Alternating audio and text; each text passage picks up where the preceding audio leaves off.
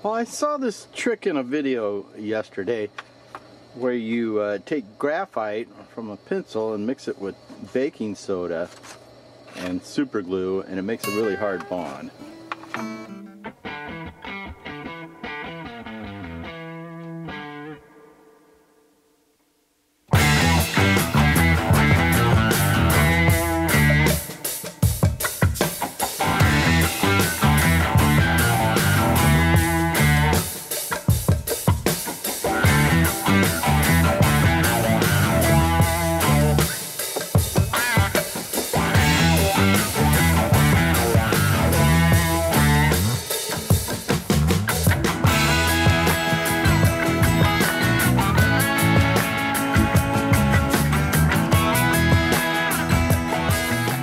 Need a super glue type of bond, this might uh, you might try this.